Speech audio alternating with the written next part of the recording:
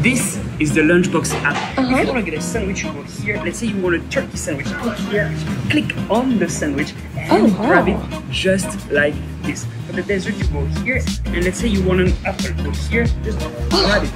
That's cool. For the drinks, you go here, here. Let's say you want an orange juice. Click on it. Click on the cup. Grab the cup, and grab the straw. It's very simple.